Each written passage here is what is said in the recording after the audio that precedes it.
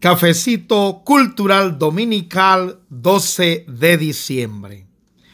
Muy buenos días amigos y amigas de Panamá, de toda la América Latina o América Latina del Caribe, de Norteamérica y del mundo entero. ¿Cómo están en este día?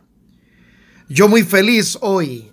Este es un domingo muy especial se acerca la Navidad. Es el día de la celebración de la Virgen de Guadalupe, patrona de México y de la América Latina. Por ahí les voy a contar mi propia experiencia de mi visita a ese santuario allá en Ciudad de México hace algunos años. Pero también con sentimientos de alegría, de paz, de amor, de familia, de perdón y de reconciliación Quiero cantar un par de canciones hoy alusivas a la Navidad. Quiero comenzar con la de José Luis Perales, que recoge bellamente el espíritu, el espíritu que nos debe mover siempre y en esta Navidad también. Navidad, Navidad en la nieve y la arena, pero también en todas partes, tanto en las sierras nevadas como en las playas y en todas partes del mundo hay que celebrar Navidad. Mientras haya en la tierra un niño feliz, mientras haya una hoguera para compartir, mientras haya unas manos que trabajen en paz, mientras brille una estrella, habrá Navidad. Navidad, Navidad, en la nieve y la arena. Navidad, Navidad, en la tierra y el mar. Navidad, Navidad, en la nieve y la arena. Navidad, Navidad, en la tierra y el mar.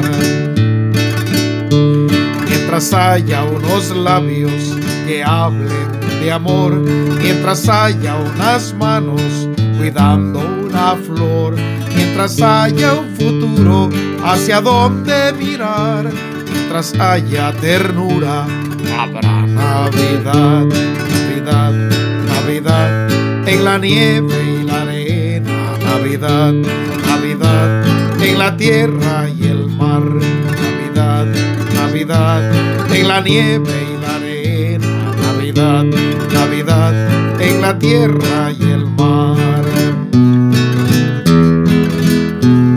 Mientras haya un vencido dispuesto a olvidar, mientras haya un caído a quien levantar, mientras pare una guerra y se duerma un cañón, mientras cure un herido, habrá Navidad, Navidad, Navidad, en la nieve y la arena, Navidad, Navidad, en la tierra y el mar, Navidad, Navidad en la nieve y la arena, Navidad, Navidad en la tierra y el mar. Navidad, Navidad en la nieve y la arena, Navidad, Navidad en la tierra y el mar. Navidad, Navidad en la nieve y la arena, Navidad, Navidad en la tierra y el mar. Gracias José Luis Perales por tan inspiradora canción de Navidad. Eh, creo que José Luis Perales nos presenta prácticamente un programa para esta época y siempre. Pero me gusta mucho, mucho la letra de la canción porque primero nos transporta a un eh, a una vivencia de la Navidad muy sencilla, muy realista y muy profunda en los valores cristianos. Aunque hoy, para esta época, para estas fiestas, los cristianos celebramos y conmemoramos nuestra gran fiesta del nacimiento de Jesús. El tema de Santa Claus yo no le meto mucha mente cada uno celebre como quiera, como, como lo crea. No soy yo quien voy a quitarle a los niños su fantasía de Navidad. Eso a mí no me molesta en realidad. Yo sé que esa costumbre viene del famoso San Nicolás.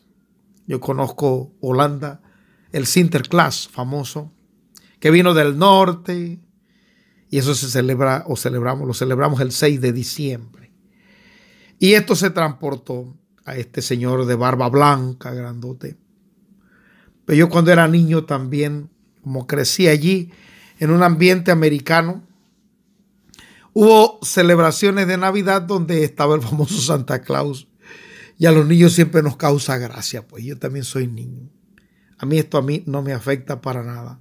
Yo estoy clarito que para mí la Navidad es Jesús, María y José. Los pastores, el gran acontecimiento de la historia, pero tampoco lo quiero imponer al que no lo quiera creer así. Así que todo el mundo tiene derecho a celebrar su diciembre y, y se dicen, hay que decir felices fiestas, porque hay que ser inclusivo. Bueno, no importa, pues.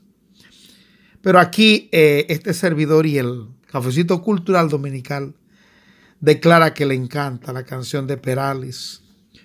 Cuando se apague un cañón y cuando haya paz, cuando se cure un herido, cuando haya unos labios que hablen de amor y cuando las, unas manos cuiden una flor. Mientras haya un futuro hacia donde mirar, allí donde hay ternura habrá Navidad. Gracias, Perales. De verdad, de verdad, Qué, bonito sería todo esto. Hay mucha gente que también Navidad les trae tristeza. ¿Por qué razón? Porque a veces vivimos en la añoranza de tiempos pasados. Por otra parte, no tenemos que negar que hacen falta los que ya no están físicamente con nosotros, que se fueron. Y uno siempre piensa que la Navidad no es completa si no están aquellos que se fueron. Yo creo que no uno tiene todo el derecho de tener sus sentimientos, y así es. Pero tampoco podemos revelarnos y decir, para mí no habrá ninguna Navidad como no la va a haber si Jesús nace, de todas formas, y nos trae la paz que está por encima de cualquier tristeza nuestra. Sin embargo, no es el tema material, no es el consumo, estamos claritos. Todas estas cosas, las comidas que nos rodean, las fiestas, que no deben ser tampoco exageradamente costosas, porque ya sabemos lo, lo que a Dios no le gusta, estas cosas así, cuando falta la solidaridad. Pero sí, Navidad también es un, una fiesta de familia. ¿Por qué? Por la Sagrada Familia de Nazaret. Así que eh, esto eh, declaro en este día que yo me inclino por esta manera de celebrar la Navidad y le deseo a todos mis oyentes del cafecito cultural y del cafecito espiritual, le deseo todos esos bienes y si están lejos de sus amigos y de su tierra, también les voy a cantar esa canción dentro de un ratito. Pero no quería dejar pasar hoy esta fecha. No pude ampliarme un poco en el, espiritual sobre el 12 de diciembre de la aparición de la Virgen de Guadalupe. Ya le pedí disculpas a aquellos que pues no, no creen en esto, pero eh, tampoco eso no nos va a poner enemistados, no, para nada, sino sencillamente es impactante, es impactante y eso sí no se puede negar. La, la influencia de la espiritualidad mariana en nuestro pueblo, específicamente en nuestro pueblo latinoamericano. El tema de la Virgen de Guadalupe en México es un tema de identidad nacional.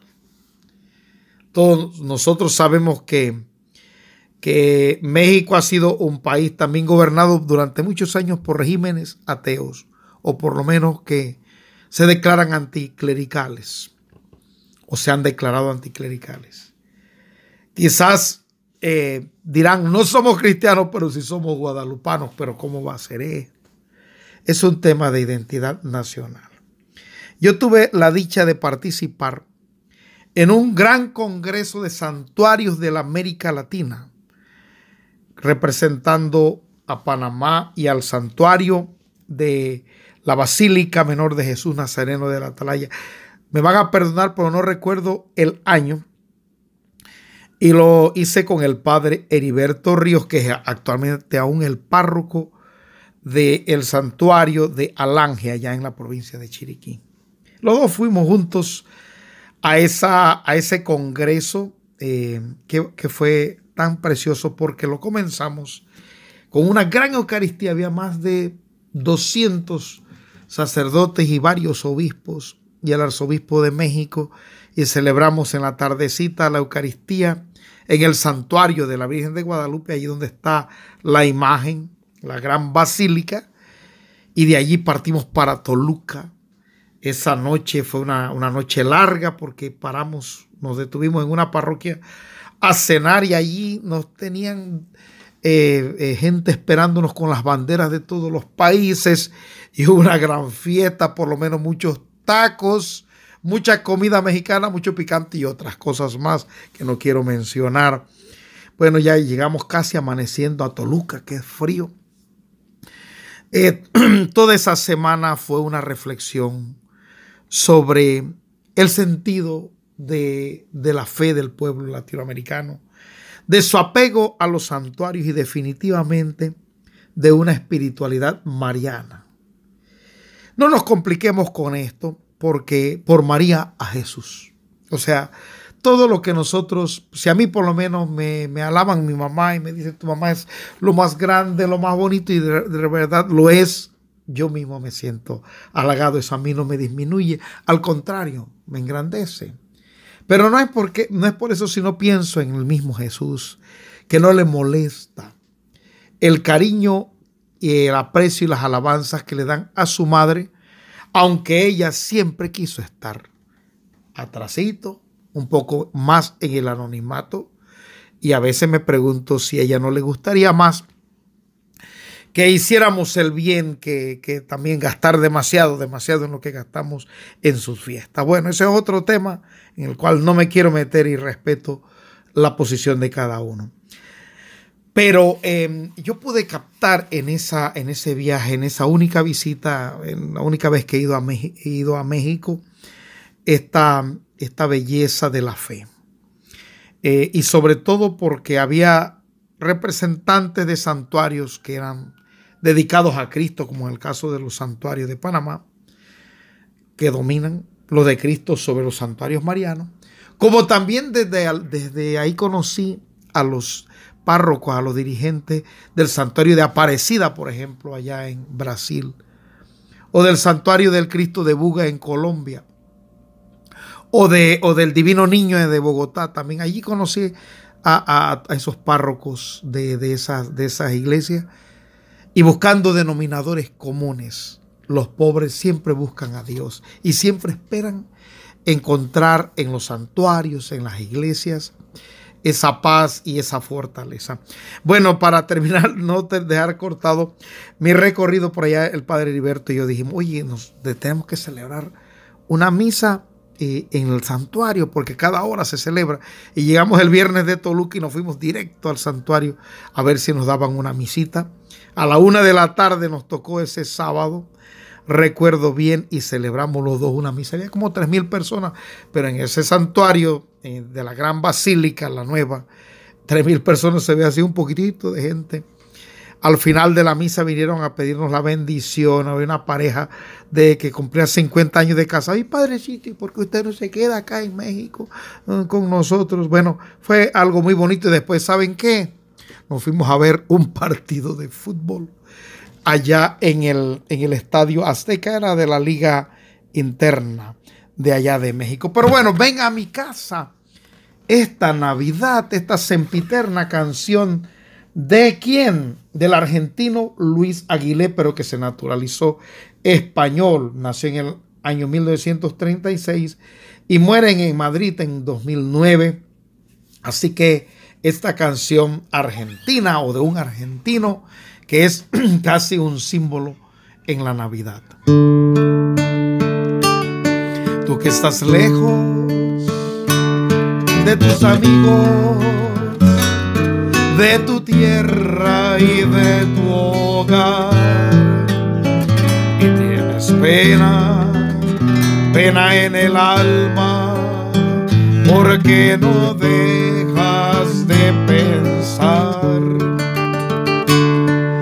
esta noche no puedes dejar de recordar.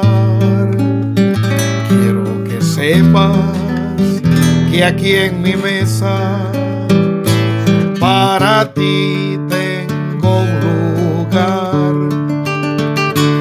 Por eso y muchas cosas más. Ven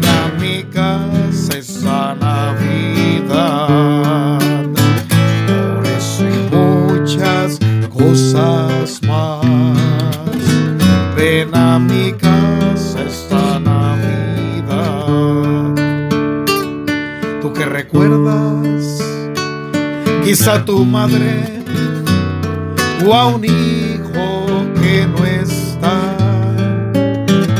Quiero que sepas que en esta noche Él te acompañará.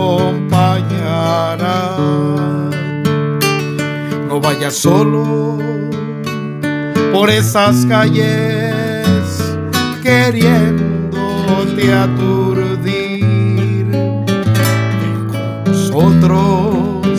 Y a nuestro lado intenta sonreír. Por eso y muchas cosas más. Ven a mi esta Navidad. Por eso y muchas cosas más.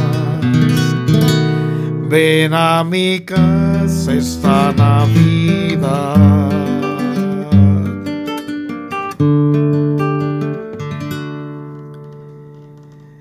Bueno, no quería perder de darles un detalle. Esta, a veces yo me pregunto, ¿no? ¿Por qué esta devoción de la Virgen de Guadalupe ya está hasta en el mundo entero?